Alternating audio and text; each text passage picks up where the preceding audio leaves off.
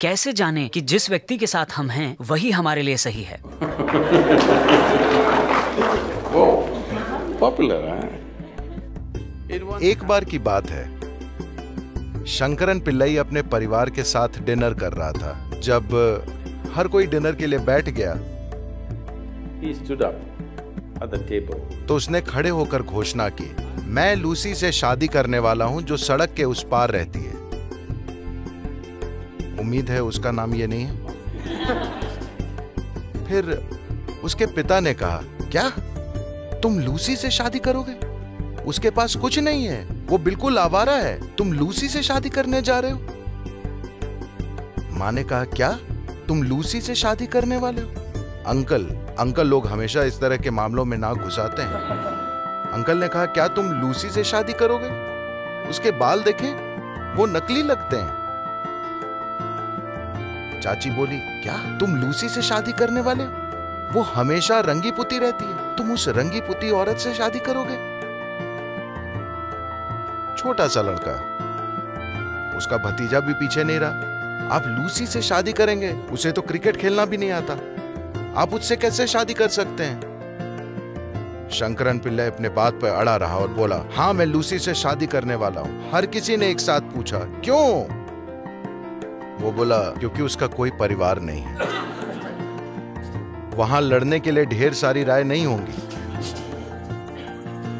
तो सही व्यक्ति कौन है?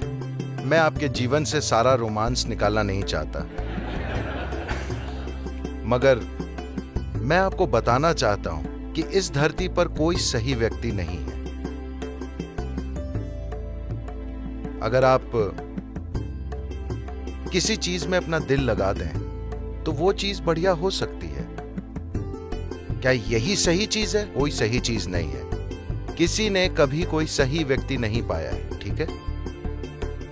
अगर आप इस तरह की अवास्तविक मानसिकता में पड़ते हैं कि मैंने सही व्यक्ति पा लिया है तो आप जल्द ही निराश होने वाले हैं। आपको समझना चाहिए कि कोई सही व्यक्ति नहीं है।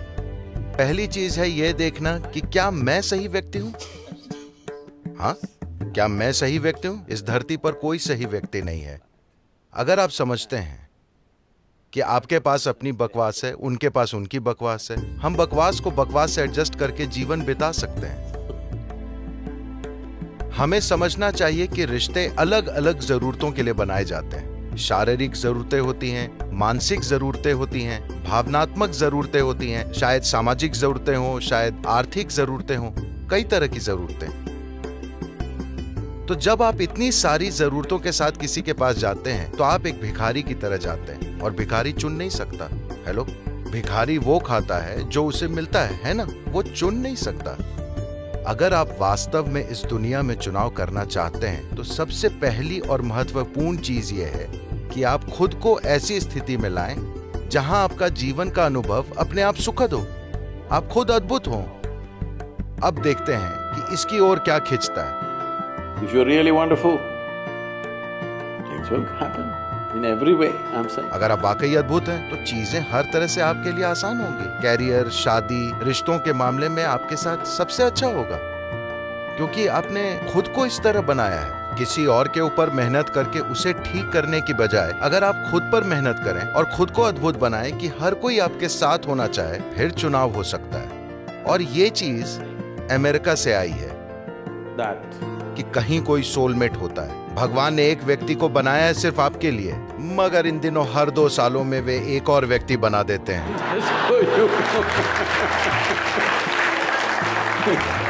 साफ़ है कि भगवान आपके साथ बहुत सी गलतियाँ कर रहे हैं।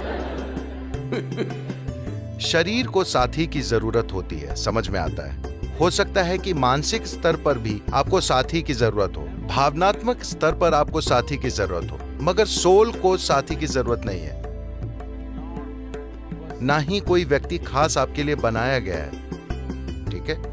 This creation makes uh, all kinds of unique idiots. ये सृष्टि हर तरह के अनोखे मूर्ख बनाती है। अगर आप समझ लें कि आप एक तरह के मूर्ख हैं और बाकी लोग दूसरी तरह के तो आप उनकी बकवास को समझ सकेंगे क्योंकि आपको पता है कि आपके पास भी अपनी बकवास है अगर आपको लगता है कि आप परफेक्ट हैं और भगवान ने कहीं पर किसी और व्यक्ति को भी परफेक्ट बनाया है तो आप तबाही की ओर बढ़ रहे हैं Okay? ऐसी कोई चीज़ नहीं होती आज भी पाँच हज़ार सालों के बाद भी लोग सबसे महान प्रेमी के रूप में कृष्ण की पूजा करते हैं मगर उनकी पत्नियाँ उनसे बड़ी नाखुश थीं। हाँ तो आपको कोई परफेक्ट व्यक्ति नहीं मिलने वाला। If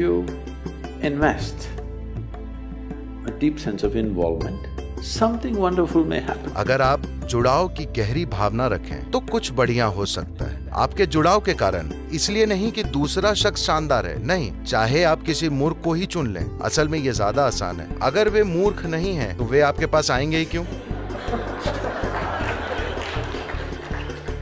नहीं नहीं नहीं नहीं मैं बस शैतानी कर रहा हूँ। तो चाहे आप किसी मूर्ख को चुन लें कोई फ़र्क नहीं पड़ता। अगर आप खुद को शामिल करते हैं तो रिश्ता बहुत खूबसूरत हो सकता है। आप दुनिया के सबसे होशियार आदमी को चुन लें और तबाही हो सकती है।